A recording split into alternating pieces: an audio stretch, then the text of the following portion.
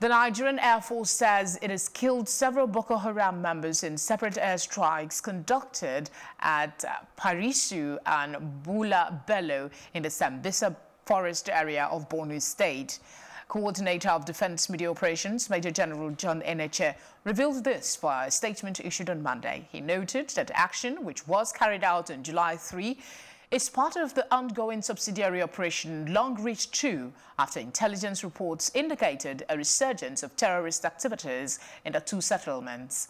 The Nigerian Air Force jets, while taking turns to engage the targets, scored accurate bomb and rocket strikes, resulting in a destruction of some of the structures as well as the killing of several terrorists, the statement partly read. Meanwhile, the chief of the air staff, Air Marshal Sadique Abubakar, has commended the Air Task Force for their dedication, dexterity and professionalism.